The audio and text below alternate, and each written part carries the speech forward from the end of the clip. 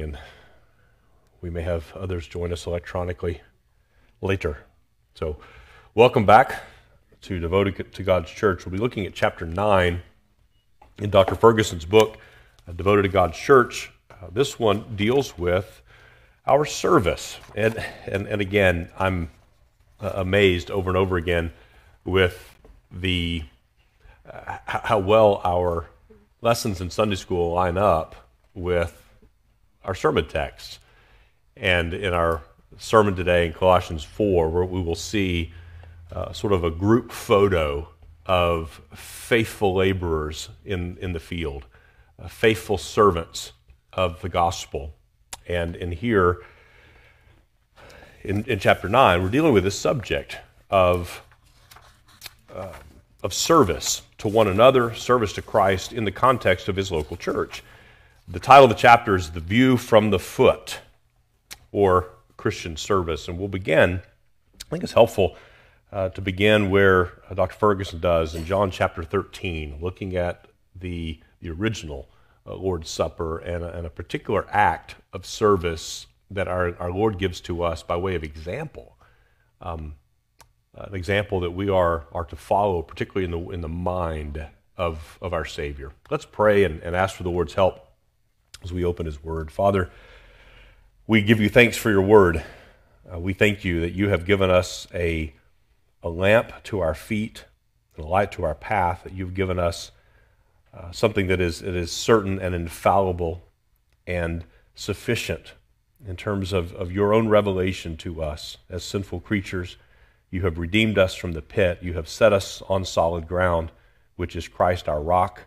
And we thank you and we ask for your Spirit's help uh, to understand and to apply uh, the word of life. We ask this in Christ's name. Amen. In John chapter 13, we won't read the whole chapter, but we'll read some significant portions of it, where our Lord Jesus institutes the Lord's Supper. And here he has all 12 of the disciples. We have 11, 11 faithful men who will be rattled and shaken and tested and we have one devil uh, here in the room.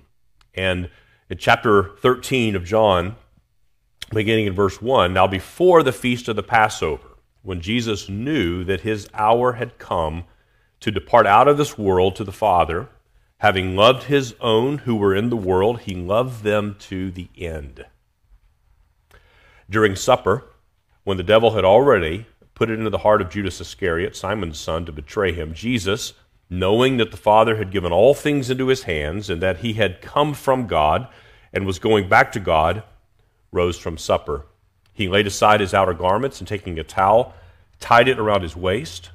Then he poured water into a basin and began to wash the disciples' feet and to wipe them with the towel that was wrapped around him. He came to Simon Peter, who said to him, Lord, do you wash my feet? Jesus answered him, What, am I, what I am doing you do not understand now, but afterward you will understand. To wash someone's feet in the ancient world was, um, was the most menial of all tasks. In a large household, there would be a number of different servants, and all would have a number of, of different tasks. Uh, but it was always the low man. It was the, the lowest of the servants who was charged with the unpleasant task of washing someone's feet. And here you have these men gathered around the table to observe this uh, Passover meal together. Something they had done since they were little boys, uh, something every faithful Jewish family had, has partaken in. And here they come in with both um, physically and also ceremonially just unclean. And they come into the very presence of Christ. They are, in a very, in a very real sense, on holy ground. They're in the presence of the second person of the Trinity, clothed in human flesh. And he leaves his place at the table, uh, the place that certainly would have been the head of the table, the place of honor. He leaves that, bows himself, both literally and figuratively, and washes their feet. And, and of course, it, even if we were not familiar with the story, if I just ask you, if I told you, you know, one of the disciples protested you have a guess which one it is, you, you would all say, well, it's probably Peter. He's the one who usually pops off like this, and it is Peter. And Peter's asking essentially, What are you doing? And Jesus says, You're not going to understand yet what I'm doing. Then down in verse 12, when he had washed their feet and put on his outer garments and resumed his place, he said to them, Do you understand what I've done to you? You call me teacher and Lord, and you are right, for so I am. If I, then, your Lord and teacher, have washed your feet, you also ought to wash one another's feet. For I've given you an example that you also should do just as I have done to you. Truly, truly, I say to you, a servant is not greater than his master, nor is a master, or nor is a messenger greater than the one who sent him. If you know these things, blessed are you if you do them. I'm not speaking of all of you. I know whom I have chosen, but the scripture will be fulfilled. He who ate my bread has lifted his heel against me. I'm telling you this now before it takes place, that when it does take place, you may believe that I am he. Truly, truly I say to you, whoever receives the one I send receives me, and whoever receives me receives the one who sent me. So here we have the Lord Jesus Christ in, in knowing full well that Judas is a betrayer, and yet he, he stoops to wash even Judas's feet. And so what uh, John tells us is true. He has loved them to the very end. He served them to the very end. And his love was not some wishy washy, ambiguous kind of love, it was a definitive and tangible expression of his love. So, what we learn and what Jesus is giving to us by way of example is not what he instituted here by ordinance is the Lord's Supper. There are uh, denominations who practice the foot washing as part of that ordinance. And I think there's a confusion here in terms of what, what Jesus has instituted. He's instituted the supper. And we, we have confirmation of that, for example, in 1 Corinthians 11, when Paul gives to us the supper as the ordinance. I've received from the Lord that which I've also given to you. And he gave the supper. The foot washing was an example of humble service. That's what Jesus has done. That's the, that's the point of the foot washing, is not so that we can repeat the literal foot washing, but what, he, what he's done is demonstrated to his disciples there's nothing that ought to be beneath you when it comes to serving one another. There's nothing that you should consider too menial to do out of love for Christ or for one of your brothers or sisters. That's really the point. Uh, Dr. Ferguson gives to us three uh, principles, three, three things that he draws out from this example, and, and I, I, won't go through it this morning for the sake of time, but I, I do commend to you. He has put in a side by side comparison Philippians chapter 2 and this, this um, example from John 13 and, and seen how much those, those things are similar. As Paul's describing the humiliation, the earthly humiliation of our Lord Jesus, and here we see Paul's or John's description of it in the gospel.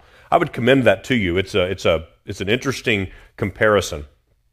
But first of all, we notice, uh, Dr. Ferguson notes the mind of Christ. Here's, here's what's central in this example is the mind of Christ. And this doesn't mean that we take on his intellect per se, or that we take on uh, certain aspects of his personality, uh, but, but rather we take on his attitude of humble service. It is that attitude of humble service. And he gives, Ferguson gives three points that, that describe this mind of Christ. First, Jesus saw what was needed. Jesus saw that there was a need. He looked around the table. He saw that the, the disciples' feet were unclean. They needed to be washed. There was no servant there to do that. And Jesus said, I'll do it. I will take that responsibility upon myself. I will take the initiative to do that. And secondly, Jesus was willing to leave a position to which he was entitled. Jesus was not just at the table, he was the head of the table. And every, every time the Passover feast was observed, there would have been a head of that table. Jesus was at the head, and rightly so. And having left that position, he goes from the top position to the lowest position. Remember the parable that Jesus tells? He says, if you, if you are uh, invited to a feast, don't take the best seat at the table. Remember what he, what he said? Because when the master of the feast comes, he may ask you, he may embarrass you by telling your friend, you need to, you need to move down to this other seat. But rather, take the lowest seat. And then, if, you're, if the master tells you to, to move up to a higher seat, you're actually honored instead. And, and he concludes that with the last shall be first and the first shall be last. Well, here, our Lord Jesus was at the head of the table, and he doesn't take the lowest seat at the table. He takes the position of a lowest servant who would not have even been permitted to be at the table. That's what it means to have the mind of Christ. And thirdly, Jesus was prepared uh, to engage in such a humble task because he was committed to even greater acts of humility. So, to have the mind of Christ means that those things that we do are not just an end of themselves, but an indication of our willingness to go even lower. And I think about uh, David. As David danced before the Lord, and his wife was embarrassed because his, his nakedness was shown, and, and, and, he, and he basically told her, You've not seen anything yet. I'm willing to humiliate myself in far worse ways than this for the sake of my Lord. And, and that's what Jesus is saying here. He's saying by, by, by his example, by engaging this humble task, he's indicating there's nothing beneath him when it comes to his love for his people. And, and his, the example that he gives to his disciples is that with this, for the sake of the gospel, there ought to be nothing that you're unwilling to do with respect to your own humiliation. Um, you, you shouldn't sit back and allow your pride to prevent you from serving someone else because a task seems, in your own mind, beneath you. So that's the first uh, principle is, is the, what we learn from this from John 13 is the mind of Christ. We're to take on this mind of Christ with respect to a, an attitude of humility when it comes to our brothers and sisters, when it comes to serving and worshiping the Lord. Then he gives several principles of service. He says, I have given you an example that you also should do just as I have done to you. If you know these things, blessed are you if you do them. And again, he's not pointing to or only to the limited, narrow scope of literal, physical, tangible foot washings. He's using that representatively because that was the most menial of tasks and that points to something else. And I think Ferguson is very helpful. On, on, page 142 and 43, he states in both negative and positive terms these principles of service. And this is, this is, I think, an encouragement to me, hopefully it is to you as well. Negatively, he says this service is not a matter of others recognizing our gifts, but positively, service is a matter of us recognizing others' needs. I mean, how many times have we, have we thought those things, or we've seen that in, in the life of a church when someone says, Yeah, but my gifts, my gifts, my gifts. We need to be thinking more in terms of what are others' needs rather than what are my gifts. Secondly, again, both negatively and positively, service is not a matter of doing things for others at our own convenience. Positively, service is a matter of us helping others when they are inconvenienced. I mean, the whole point of service is to meet the needs of someone else, not ourselves. If we're serving just so that I feel better about myself or so that I'll serve when it's convenient for me, is that really who am I serving at that point? I'm serving the convenience of my schedule or the, the, the convenience of, of, of my time rather than the needs of someone else. Thirdly, again, negatively and positively. Negatively, service is not a matter of feeling we have special gifts. But positively, service is a matter of us seeing that others have very special needs. So rather than looking at the world and the, and the, and the opportunities to serve the Lord through the lens of, this is, what, this is what God has really gifted me to do, and this is what I enjoy the most, we need to look through the lens of what are the needs? Uh, what, what do my brother and sisters need? What does my church need? What, is, what do the people of God need? And fourthly, Negatively stated, service is not an optional extra for a member of the church. Positively, service is written into the definition of being a member of the church. Uh, service is not something that we decide whether or not we plan to do it. It's, it's a necessity. It's, it's part and parcel what it means to be a, a Christian, what it means to be a part of the body of Christ, is to serve one another. He goes on to say, To our fellow members, we are called to love. And here, loving includes seeking to fulfill all the responsibilities of belonging together in fellowship. So we, we would all, part of our, our, our church covenant, we, we confess together that we have a duty to love one another. And all of us would agree that's what the scriptures say unambiguously and repeatedly love one another. A new commandment I have given to you love one another. But what does that mean? Love is not just that, that, I, that I feel a certain warmth and affection towards my brothers and sisters, but it's that I'm willing to, to physically, prayerfully, tangibly serve them. Here's three, three principles he gives committing ourselves to never neglecting worship and fellowship on those occasions the church is called together as a whole unless hindered by God's providence. Again, what, is, what, is it, what does it look like to put skin on this? What does it mean to love our brothers and sisters? Well, we got to be together. You know, Kabati and I were talking about that just, just before Sunday school about this, this idea of virtual church, this meta church, and the, the, the lack of the ability tangibly, physically to connect with one another, to look each other in the eye, to, to experience that kind of one to one, face to face fellowship that God has designed us to do. And there are certainly times when, by way of illness or travel or some other means, we, we are providentially hindered. But how many other times are we just non committal to the life of the church? And, and we, we think, we tend to think by, by default, because that's our human nature, we tend to think in terms of, well, if I don't go, um, I'm only missing X, Y, or Z, and I'm willing to live with that. But in our calculus, we're not, we're not calculating what are my brothers and sisters missing because God has appointed me to serve them and meet their needs. Secondly, committing ourselves, what, what does it mean to love? It means committing ourselves to prayer, both individually and corporately for each other and for the extension of God's kingdom. As we saw over the last few weeks in Colossians 4. Paul admonishes the, the Colossian church to continue earnestly, steadfastly in prayer, being watchful in it with thanksgiving. This is the command that, that, that rests upon every one of us who are in Christ. This isn't, again, an optional extra. This isn't that we, we, we pray when someone else leads us in that way, but that we are devoted to, to calling upon the Lord on behalf of one another. And thirdly, uh, Dr. Ferguson, I think, helpfully fleshes out what does this mean to, to love our, our fellow church members? Thirdly, committing ourselves to serve our fellow believers and to serve with them, employing the gifts God has given us for their blessing and for the sake of others. He says a willingness to serve is not to be confused with high levels of activity in the church.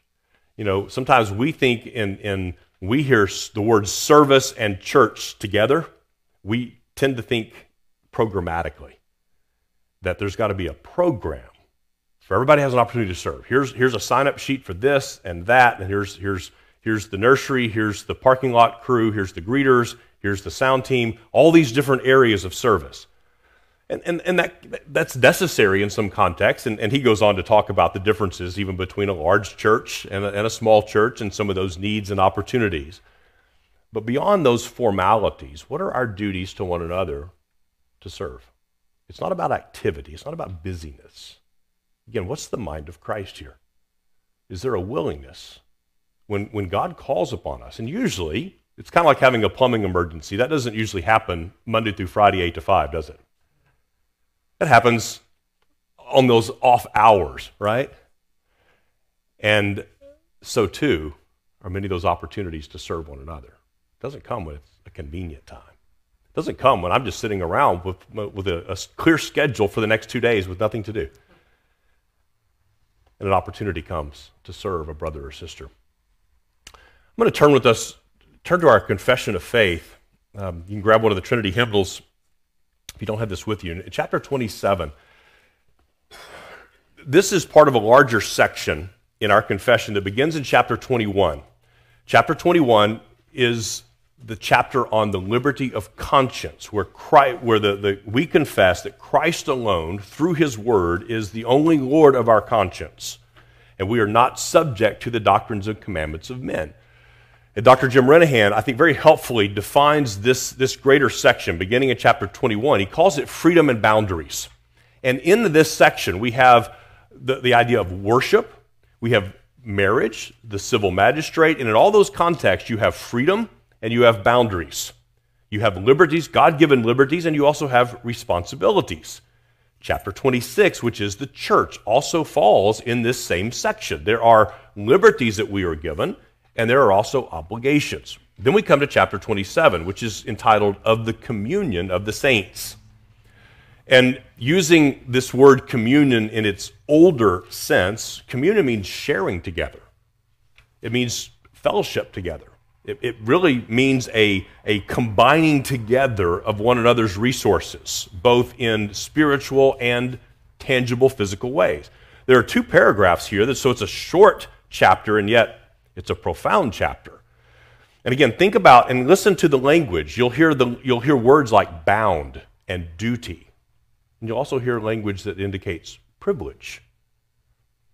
Paragraph 1 says, All saints that are united to Christ, their head, by his Spirit and faith, although they are not made thereby one person with him, have fellowship in his graces, sufferings, death, resurrection, and glory. So, in other words, we're not just uh, subsumed into the very essence of Christ, but we have a, a holy fellowship with Him. We have a fellowship in His gifts and graces, we have a fellowship in His sufferings, we have a fellowship in His death, resurrection, and one day in His glory. And being united to one another in love, they, this is all those who are true saints, they have communion in each other's gifts and graces meaning they have a sharing together, they have a fellowship in one another's gifts and graces, and are obliged. See, that's that language of duty. They are obliged to the performance of such duties, public and private, in an orderly way, as do conduce to their mutual good, both in the inward and outward man. By virtue of us being Christians, see, here's the cause and effect. The cause here is, is Christ's redemptive work in us. The fact that we've been united to Christ and we have fellowship in His graces, His gifts, His sufferings, and His death, burial, and resurrection, and one day His glory, that then obligates us to everyone else who has the same fellowship in Him. We have an obligation, we have a duty to the performance of such duties, public and private, in an orderly way. What are those duties? Well, some of the things we've, we've just talked about prayer, committing ourselves to being physically present with one another, to be in the assembly together, committing ourselves to employing the gifts that God has given to us for the service and blessing of one another. Well, paragraph two makes this more specific. So we have the, the general concept in, in paragraph one that because of our union with Christ, we are also in union with one another, and therefore, here's the cause and effect, we have duties to one another. God has given to us various gifts, spiritual and otherwise, resources, spiritual and otherwise, and opportunities, spiritual and otherwise. Listen to paragraph two. Saints by profession, that's, that's us, right? Those who confess the name of Christ. Saints by profession are bound to maintain a holy fellowship and communion in the worship of God and in performing such other spiritual services as tend to their mutual edification. And I want to pass over the very first part of this. Saints by profession are bound to maintain a holy fellowship and communion in the worship of God. Church membership is not optional. Church membership is not optional for the Christian. It is optional which church you join, but it is not optional that you join a church. You have a duty to do that. Unless there's some crazy providential circumstance that hinders you, that is your normal, ordinary duty as a Christian. It is my duty as a Christian for uh, to maintain a holy fellowship and communion in the worship of God and performing such other spiritual services as tend to their mutual edification. As also in relieving each other in outward things according to their several abilities and necessities. So here it speaks to not just spiritual things, but very tangible physical necessities. Which communion, according to the rule of the gospel, though especially to be exercised by them in the relation wherein they stand, whether in families or churches, Yet, as God offereth opportunity, is to be extended to all the household of faith, even all those who in every place call upon the name of the Lord Jesus. So there is, there is, we, Kevin DeYoung and Greg Gilbert wrote a book years ago called What is the Mission of the Church? And they introduced a concept that was very helpful to me the concept of moral proximity. And it's, and it's, it's a, not a difficult concept to understand. Those to whom I am closest in the providence of God are the ones to whom I have a greater responsibility. So obviously, uh, 1 Timothy 5, for example, obligates us to care for our own families. And Paul says, in fact, you've denied the faith and you're worse than an infidel if you will not care for your own family. If a man will not work and provide and care for his own family, he's denied the faith. So there is there's that principle there of moral proximity. I'm not obligated to care for every family on the earth, but I am obligated to care for mine. And I'm obligated within the context of a local church to be willing to meet the needs of other brothers and sisters as they arise. So there is that idea of, of duty that extends outward. So that's, that's what's being communicated here.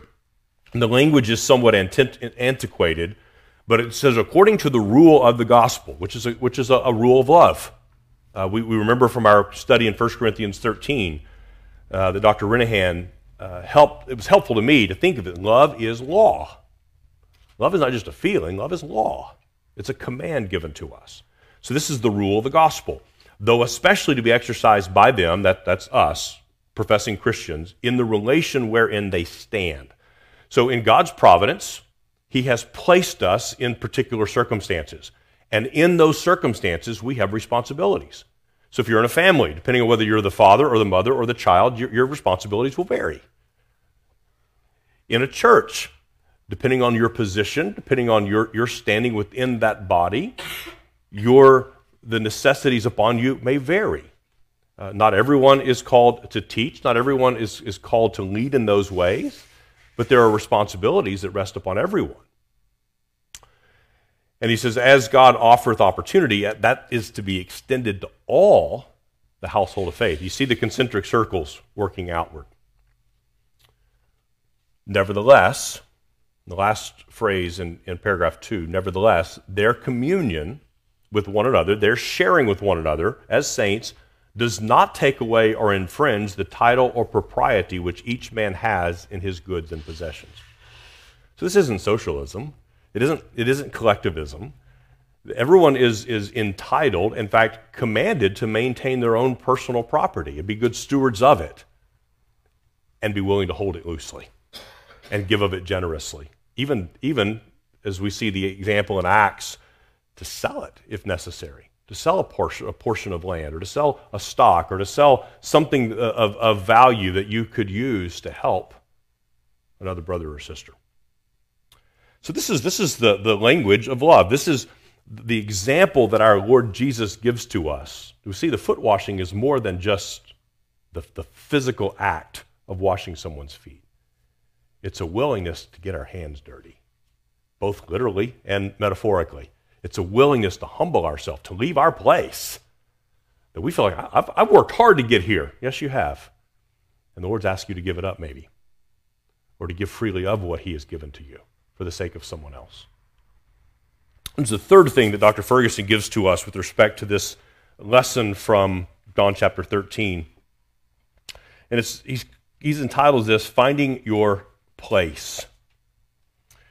This is where he gives this, um, I think, a, a helpful perspective on larger churches versus smaller churches. I'll leave that to, to you to read through. But he says, We often hear people say, This church is too large, I can't find a place to serve. But listen how he responds. In fact, this is never true. And sadly, sometimes when such a statement is decoded, what it actually means is that the person feels they are not receiving the recognition they deserve. See, the whole idea of service is not to gain recognition. And I think about in the sermon text today, we'll see uh, a man named Jesus called Justus. He's listed as a faithful servant. Do you know that's, that's the only thing we know about him? Is his name, and Paul commended him. His name is known. His name is known in heaven, but no one else knows him. No one else knows what he did. Paul knows. Paul was blessed by him. The people of Colossae know. But how many, um, how many of us are willing to labor in that kind of obscurity? Or are we doing it in our own pride, looking for that notoriety, looking for the recognition? He says, and where they exist, there are usually, he says, back up, we are, after all, rarely under any compulsion to become members of large churches. And where they exist, there are usually smaller churches around crying out for people to serve, since sadly some of their own complaining members have believed that the grass is greener in the larger church. but again, it's often comes because we come at church as a service provider. And the larger church can provide more services. We have a very statist worldview. And the church is, in many ways, we've, rather than uh, seeing the, the, church as superior uh, to the state. We see it as just a, an alternative to it. He goes on to say, Do not complain about the size when you should be opening your eyes to see the needs of others and how you could be meeting those needs. So he gives three principles of service, again, under this heading of finding your place. And, and, there, and, and I get this question pastorally. I'm sure, I'm sure our deacons hear this question from people from time to time as, as people visit where can I serve? What can I do? Well, here's principle number one be willing to do anything that needs to be done. It's a crazy idea, isn't it? Be willing to do anything. Because often, if, and you get this sometimes, well, you probably don't. I don't either. Kids say, I'm bored. Okay, I have some suggestions. Oh, I don't want to do that. because the grass needs mowing, the windows need washing, the trash needs taken out. Oh, that, that wasn't what I had in mind, Dad. But sometimes church members communicate in a similar way. I'm bored. I want something to do. Okay. Um, bathrooms need cleaning. Carpets need uh, scrubbing. Oh, uh, no, I, I, I that wasn't what I was thinking about. You want to do anything. Ecclesiastes 9:10, whatever your hand finds to do, do it with your might. he, he gives, um, unfortunately, uh, uh, he gives an anecdote that's, that's common. And he says Christians often approach the leadership in a church in such terms if I were to become a member here, would I be able to fill in the blank? Often the blank is teach, he says. Obviously, those who ask this have no idea that it is usually a question calculated to make any wise leader nervous.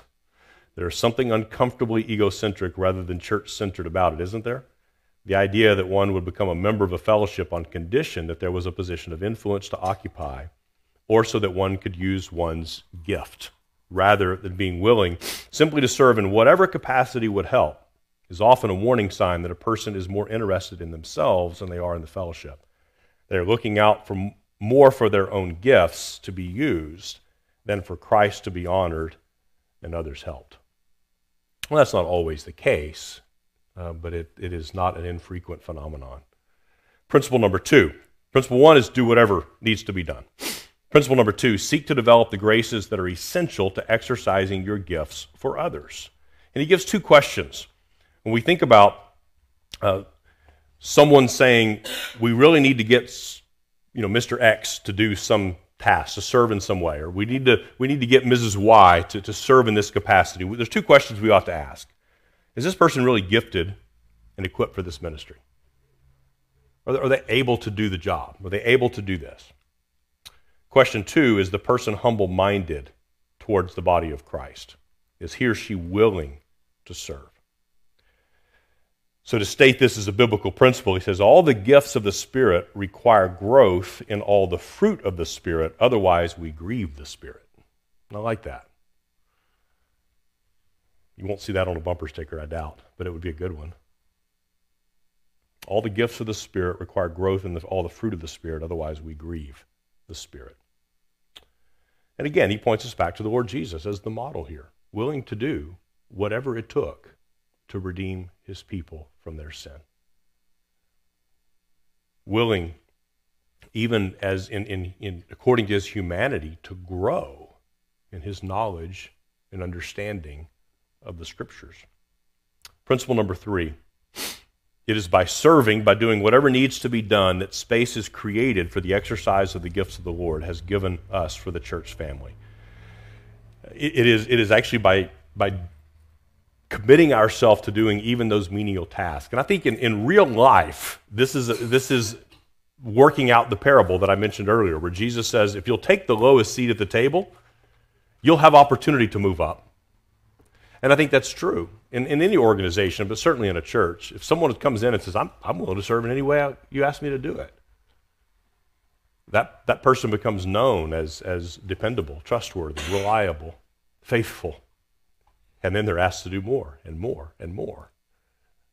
And those opportunities will begin to abound. Um, but it requires patience.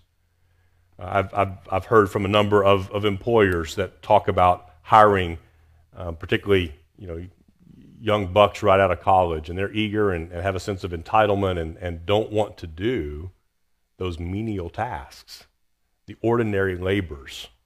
They don't want to put in the time of, of learning their skill, or learning a trade. And they want to be operating at a master level right out of the chute. And what's, what's the right path there? Start low, work hard, and work your way up do your time. We've told our kids there's no shortcut for TIME. The, those skills that you learn and your abilities develop, and the Lord will use those, those means to sharpen your gifts. Do you, do you see in yourself, well, I think the Lord has gifted me in, in, in these ways? Great. Develop them at the foot of the table and see how the Lord uses you and develops those gifts.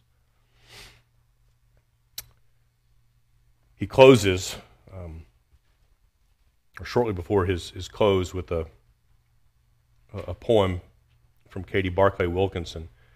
He says, Perhaps we should be slightly more allergic than we often are to speaking about my gift, or its contemporary equivalent, my gifting. The New Testament nowhere joins the personal possessive pronoun my to the word gift. It does join it does join it to the word ministry or service. The difference may seem slight, but it can be significant. So the idea of, of gift is never seen in that possessive sense. You don't see anybody in the, in the New Testament referring to my gift or my gifting. But we do see gift applied to the words ministry or service. So it's a, it's a helpful um, perhaps corrective to us. It's a, it's a, good admonition to us as we think about life within the body of Christ. Um, I, I, had coffee with a brother recently and visiting a new church, and, and he was talking about how the, the first time they, they visited, they got an email from the church with all these different committees and activities, and, and no one's allowed to just come. You're, you have to be signed up on some sort of service committee, and that's, that's really their model. And, and the idea is, and I, I get the idea, is to draw people in and you don't want anybody out on the, on the periphery. Give everybody a job to do. And the idea, this is not a cruise ship, it's a battleship. And I, and I get that. Um, but sometimes that becomes very pro- programmatic rather than training people and encouraging people and, and praying for one another to seek out those opportunities to do those most menial tasks. Because if you give somebody a buffet, here's the choice. Well, everyone's going to choose the, the most uh, what they perceive to be the most suitable uh, areas of service rather than what is the Lord in His providence? What opportunities has He given to you? What opportunities has He given to me uh, to serve according to His leading and calling? What are your thoughts on this, this topic, this, this chapter with respect to service in the body?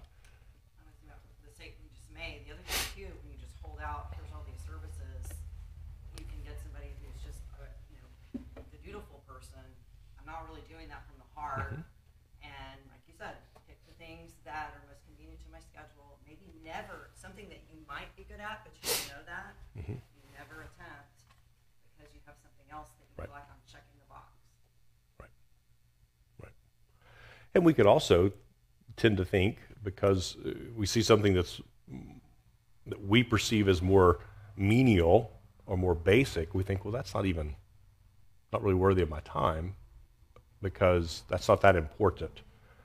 Um, you know, the, the, maintenance and upkeep of, of a building or uh, being devoted to, to, to praying and, and writing encouraging notes and checking on one another and serving one another in all those various ways. Uh, a simple uh, text message or a phone call to a brother or sister during the week to check on them, follow up on a, on a prayer request. Those ways of serving that, that seem, may seem insignificant, and, may, and the Lord may use those to have profound implications, a profound effect, positive effect on, on our brothers and sisters. What else?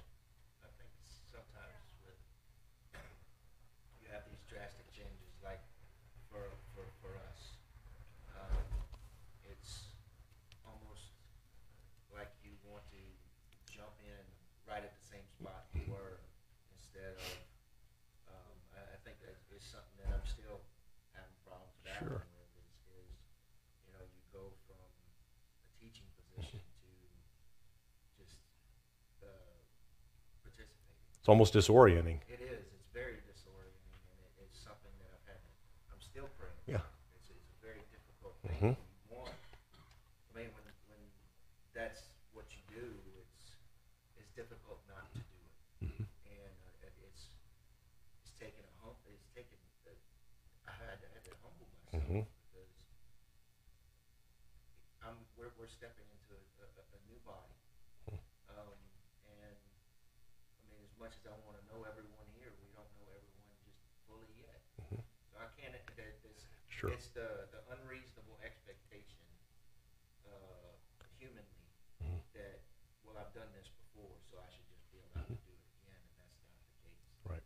It's that we we we have to be good with um, serving in any way possible, and then uh, you know, and, and when you do that, well then in time and uh, with God's grace, then mm-hmm. yeah, that that may happen again, or it may not. Right. You know, it's just you have to be okay in serving God in which way you can. Amen. And look for those opportunities. Yeah, and submitting ourselves to His providence, His His wisdom, and all those things. Yeah. Mm-hmm. Like, uh, you, you, you, mean today or?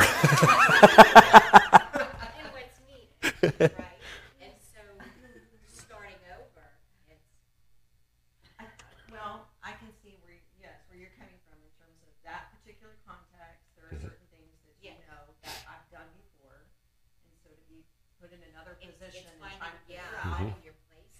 Yeah. Knowing, finding how to serve. Right. yeah. I, I know. And I remember being in that Mm-hmm. When we came to GOPC. Yeah, I remember mm-hmm. that, leaving a different context and trying to figure out what, what do we do. Mm-hmm. And, uh, yeah. Hey, I'm really good at scrubbing toilets. we have Amen. some opportunities. this week.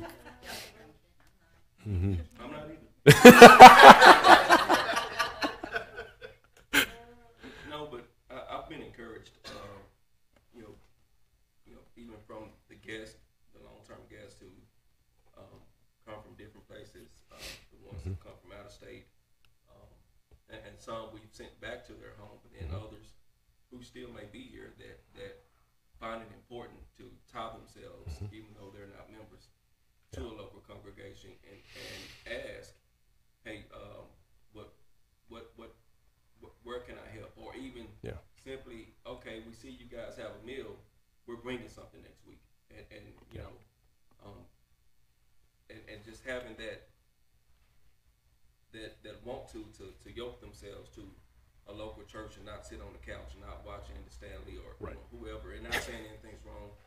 Um, be, I but, okay.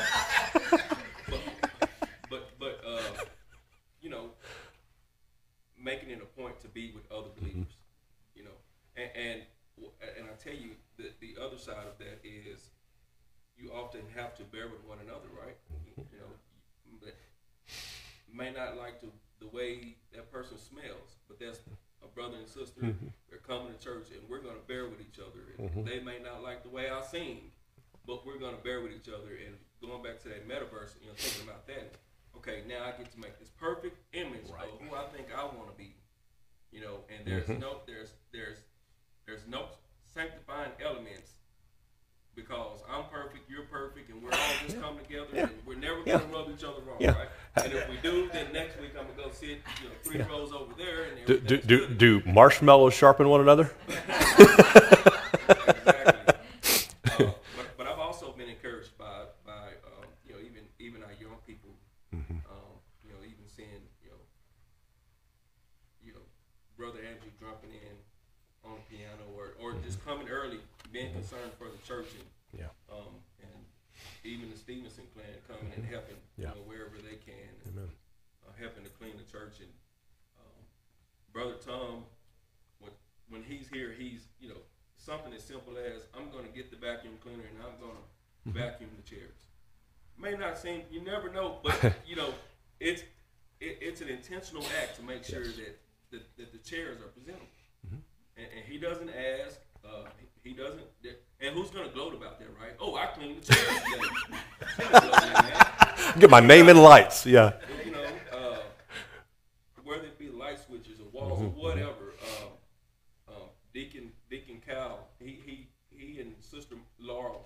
Way they serve the church and things that people never see or just take for granted that oh there's no cobwebs mm-hmm. uh, you know you, you, don't think like that but you know there probably was some cobwebs around here just a day or two before and somebody took care of that for you mm-hmm. and so those those small mm-hmm. ways to serve yep. that never are really noticed no one's bragging about it um, but but it's encouraging me it's encouraging to me to see others participate in that way amen um, amen yeah, I, have been grateful for that.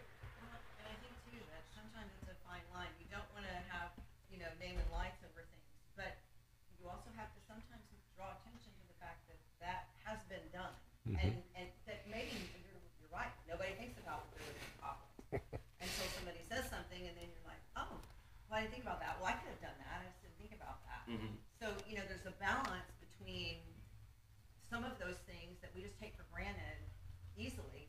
I mean, all of us as stay-at-home moms know this, that there are things that just get take, taken for granted because you do it and you don't think about it, you just do it. You're not looking for anybody to say, hey, thanks for, you know, putting that away today or sweeping the floor. You just do it. So, um, but, the, but in the context of the church, where, you know, everybody should, should be pitching in, how do we make that known in a way that people could say, oh, well, I didn't know that needed to be done. I can do opposed to thinking, not even ever thinking about it. Mm-hmm. I, I think it's in our communication with one another. I mean, some people could come and, and just be unaware that there's a Right, right. that we, we can't rightfully have an expectation without Right. putting it out there. Right. Well, and, and some people are will, will more easily notice things that need to be done and take that initiative. Mm-hmm. Others are more than happy to work. You say, "Hey, can you get that?" Oh yeah, I'd be glad to do that. I, I would have never noticed it, but I'd be glad to to do that. So we have there's a there's a, a little bit of both that's needed.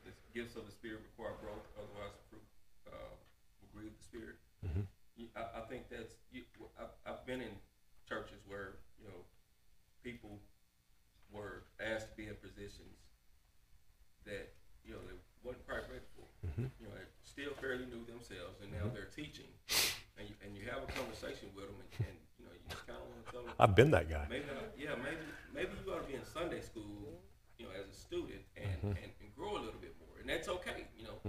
Um, and and and and see that over time, frustration arises. You know, sometimes maybe those people leave the church for whatever reason, and so yeah, having um, and, and me being in the trades and coming up through an apprenticeship, I see the value in Yeah. allowing time to mature. Yeah, people die if you don't get that maturity. and, and you know, and starting out at the bottom. I, I, I've, I've worked with you know young guys early in the trade, and, and you can tell early on a lot of the times who's probably going to go far in the trade because you get out on the job. Uh, maybe, maybe it's been raining like it has been, and there's a hole. And someone has to get in that hole. And you know, you, you get apprentice that kind of hem hauls and goes back to the truck. kind of ducking, you. Okay, I'm gonna have to tell mm-hmm. him. And mm-hmm. then you get some that just, okay, I'm low man here, mm-hmm. and I've seen this literally. I'm diving straight in. I'm letting everyone know that I'm willing to do this. and you see a little hard hat floating up because they went under and come back up and okay, this kid's he's gonna be here. I'm uh-huh. not gonna have to push him. He, you know, he's gonna push me probably to teach him. And, and you know, they grow and they mature right. and they become, you know, pretty proficient in their trade. And you know, I think a lot of times in the church, we, we have to allow that, allow Amen. for that growth before Amen. we just thrust people. But at the same time, you know, I've heard uh, Pastor Bachman say, we wouldn't, you know, you, you couldn't take a, oh, I've been a 40 year Christian. What? I don't know nothing. we wouldn't allow that in any other profession, so it shouldn't happen in the church either. you know, so Right. There has to be that balance. Yeah. We, push one another to grow, but then we also are patient while that growth is taking place. Again, just what you would do with an apprentice. You're going to push him, but you also have to be patient that things that you know didn't, didn't happen overnight. It took a long time to get there. Amen. Well, let's pray, and we'll uh, start worship here pretty quick. Father, you are so good to us. We thank you for the privilege of, of serving you. And I pray that you would grant to us the mind of Christ, that we would have this mind among ourselves, that while he did not, uh, he did not uh, exalt himself, our Lord did not uh, chase after uh, the things of this world, the recognition of this world, and yet in due time you exalted him. And you've seated him at, at your own right hand, and you've given him a name above every name. And you've set upon us a promise that we will one day rule with him. We will reign with him in glory. We will be given a, a glorified body like his. And we pray that you will teach us in, in this uh, laboratory of life uh, to discipline ourselves, to serve one another, and to trust that you will use those means as uh, one of the means that you use to perfect us, to, to reveal to us our, our faults, the, the hidden pride, our, our worldly motives, and that you use these, even the humbling acts of serving one another, uh, to encourage our hearts, uh, to strengthen our faith, and to be a blessing to one another. We ask all this for Christ's name's sake.